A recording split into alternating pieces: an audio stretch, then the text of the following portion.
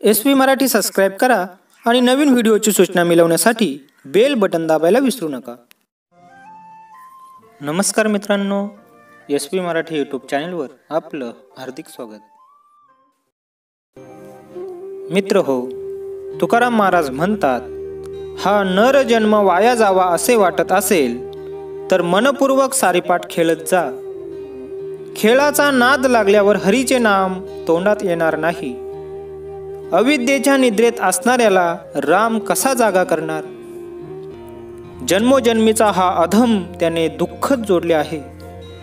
विषय भोगाविषयी आसक्ती परस्त्री संघासाठी कोणताही दुराचार करण्या इतका धीट अधोगतीला जाण्यासाठी हे सर्व मार्ग आहेत.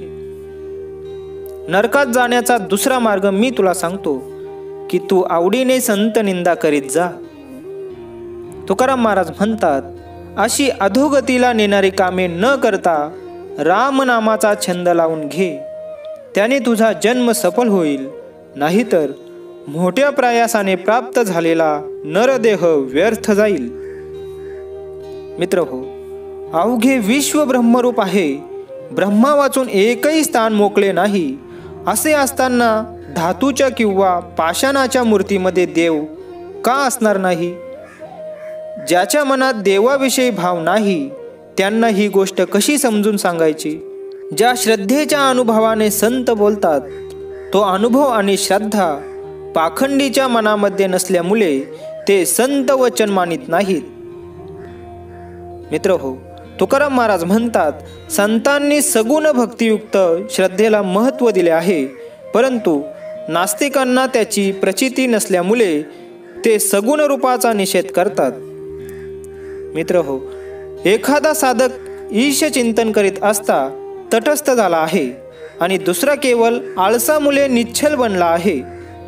बाहेरून हे दोघे सारखे दिसत असले तरी त्या दोघांतील फरक तज्ज्ञाला सहज कळतो.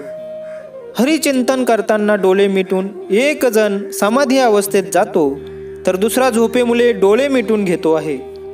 काही जण विरक्तपणे साधू वेश घेतात तर काही पोटासाठी साधू होतात. एकाची भक्ती देवासाठी तर दुसऱ्याची पोटासाठी. तुकाराम महाराज म्हणतात बाह्यतकारी हे एकसारखे दिसत असले तरी त्याची फले दोघांना भिन्न भिन्न प्रकारची मिळतात. आपला पिता धनवान आहे किंवा निर्धन आहे हे त्याच्या पुत्राला माहीत नसते. आपण मागतो ती वस्तू त्याला कोणत्या वेळी देणे शक्य आहे हे त्याला कळत नाही. एखादी वस्तू दुसऱ्याकडे पाहिली की पित्याला मिठी मारून मागणे एवढेच त्याला कळते.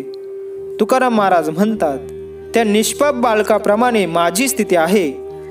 तेव्हा देवा तुम्ही माझी समजूत काढावी. मित्र हो हरीचे चिंतन माझ्या भाग्यात लिहिले नाही असे म्हणून संसाराची आसक्ती ठेवतो. अशा साधूच्या साधूपणाचा धिक्कार असो. अशा साधूचे मन पाप वासनेच्या हेतूने अभद्र झालेले आहेत.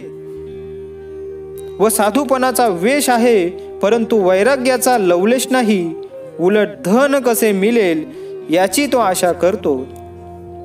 तुकाराम महाराज म्हणतात हरिचिंतन न घडल्यामुळे परमार्थाचा लाभ तर होत नाहीच पण संसार सुखही मिळत नाही.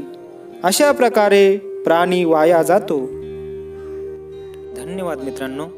पुन्हा भेटू तुकाराम महाराजांचे पुढील विचार जाणून घेण्यासाठी. मित्रांनो सर्व व्हिडिओ पाहण्यासाठी एस पी मराठी सबस्क्राईब करायला विसरू नका. धन्यवाद.